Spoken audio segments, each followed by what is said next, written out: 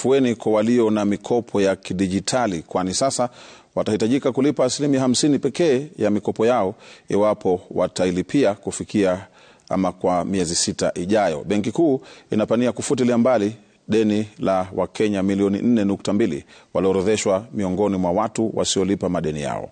Wakenya wanadaiwa jumla ya shilingi bilioni 30 na kampuni za mikopo ya kidijitali. Watu milioni 4.6 walioorodheshwa na Benki Kuu miongoni mwa wale ambao hawalipi madeni yao sasa watashusha pumzi baada ya Benki Kuu kubadili mfumo huo ili kuwawezesha Wakenya kupata mikopo kulingana na jinsi wanavyoweza kulipa. Taarifa kutoka Benki Kuu inaashiria kuwa kampuni za kutoa mikopo zitafutilia mbali asilimia 50 ya mikopo iliyotolewa kufikia mwisho wa mwezi Oktoba kupitia njia za kidijitali na kuwaondoa kwenye orodha ya wasiolipa mikopo. Baada ya hapo, Benki Kuu itaweka mkataba wa malipo wa miezi sita kulipa masalio utakaoendelea kutekelezwa hadi mwezi Mei mwaka 2023. Mikopo watakayopewa baadaye itategemea na jinsi walivyolipa madeni yao katika kipindi hicho. Mfumo huu mpya utashughulikia mikopo iliyokuwa ilipwe katika kipindi cha siku 30 kupitia simu za rununu. Mfumo huu unakisiwa kuwa utawezesha watu milioni 4.2 waliokopa kupitia simu zao kujiondoa kwenye orodha ya wasiolipa mikopo.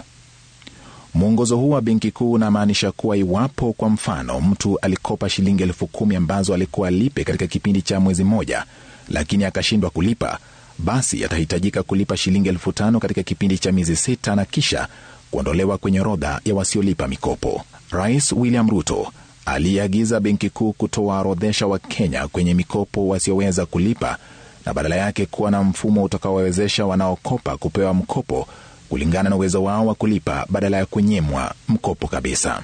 We support CRBs as a mechanism of instilling financial discipline in our financial sector.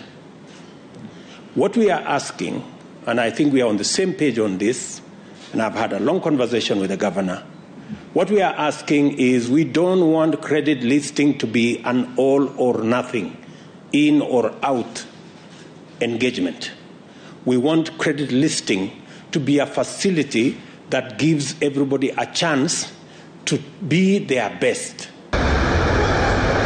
Kampuni za kutoa mikopo ya kidijitali zilikuwa zina wadai wa Kenya shilingi bilioni 30 kufikia mwisho wa mwezi Oktoba mwaka 2022.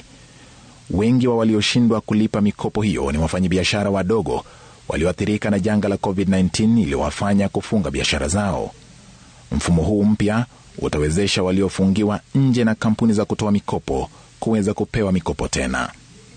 Hatua hii iliarifiwa na malalamishi ya Wakenya wakati wa kampeni za uchaguzi kuhusu kiwango cha juu cha riba inayotozwa mikopo ya kidijitali ambayo iliwasababisha Wakenya wengi kuwekwa kwenye orodha hiyo ya wasiolipa mikopo. George Bati,